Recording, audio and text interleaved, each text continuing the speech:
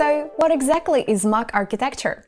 It's a set of four modern technologies that together form a powerful combination and enable true digital transformation. The acronym stands for Microservices Based, API First, Cloud Native, and Headless. Today, we are going to go through all four elements of MACH architecture. Microservices. These are applications that are developed, deployed, and managed independently, one service at a time, and typically each performs a specific business function. When one of the services is being updated, the others continue to function, and this allows you to work with MACH technology without interruption. API first software is designed to maximize connectivity via APIs um, application programmable interfaces, which allows systems to exchange data.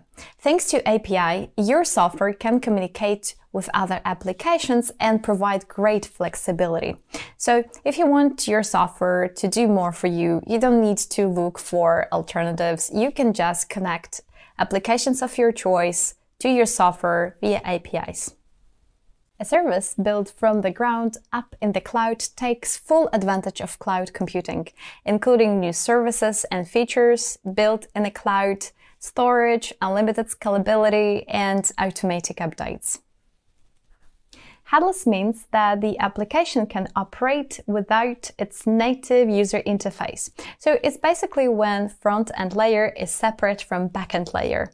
It gives you a lot of freedom and flexibility to choose your own user interface and also extend your omnichannel offering. If you want to know more about MACH architecture, check the links below, even if you're not tech savvy. Thank you for watching and see you soon.